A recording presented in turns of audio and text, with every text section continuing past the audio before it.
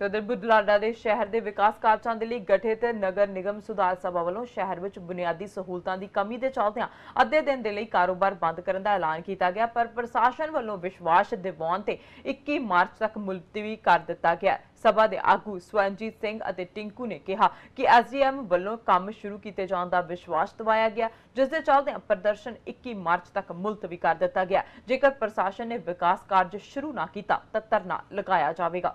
ਦੇਖੋ, ਉਮੀਦਾਂ ਦੀ ਦੁਨੀਆ ਖੜੀ ਹੈ, ਉਮੀਦਾਂ ਨਾਲ ਹੀ ਦੁਨੀਆ ਕਾਇਮ ਹੈ। ਅਗਰ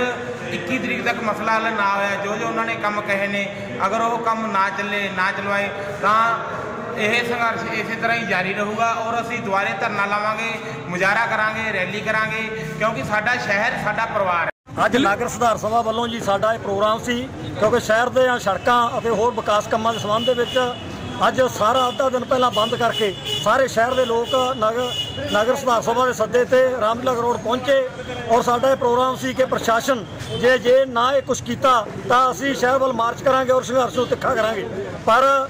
ਐਸਡੀਐਮ ਸਾਹਿਬ ਔਰ ਐਸਸੀ ਸੀਵਰੇਜ ਬੋਰਡ ਉਹ ਸਾਡੇ ਇੱਥੇ ਆਏ ਨੇ। ਉਹਨਾਂ ਨੇ ਵਿਸ਼ਵਾਸ ਦਿਵਾਇਆ ਕਿ ਅਸੀਂ ਸ਼ਹਿਰ ਦਾ ਜਿਹੜਾ ਪੂਰਾ ਮੁਕੰਮਲ ਵਿਕਾਸ ਕਰਾਂਗੇ ਔਰ ਜਿਹੜੀਆਂ ਸੜਕਾਂ ਨੇ ਰੇਲਵੇ ਰੋਡ ਔਰ ਜਿਹੜਾ ਗੁਰੂ ਨਾਨਕ ਕਾਲਜ ਰੋਡ ਹੈ ਉਹ ਸਾਰੀਆਂ ਦੇ ਕੰਮ ਵਿਦਨ ਵੀਕ ਜਿਹੜਾ ਹੈਗਾ, ਉਹਨਾਂ ਨੇ ਭਰੋਸਾ ਦਿੱਤਾ, ਸ਼ੁਰੂ ਹੋ ਜਾਏਗਾ। ਇਸ ਕਰਕੇ ਅਸੀਂ ਨੇ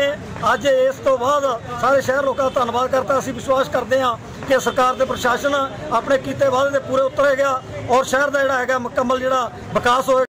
ਜਿਹੜਾ ਅਸੀਂ ਇਹ ਵਿਸ਼ਵਾਸ ਦਵਾਇਆ ਕਿਸੇ ਕੋਈ ਝੂਠੇ ਵਾਅਦੇ ਪਰ ਨਹੀਂ ਦਵਾਇਆ, ਅਸੀਂ ਟੈਂਡਰ ਕੱਲ ਹੀ ਖੋਲੇ तो टेंडर का काम मॉरल कोड लगने से पहले ऐसी चालू कराना पड़ेगा। तो तुम मन के चलो, इस हफ़्ते हफ़्ते सारे काम चालू हो जाएँगे।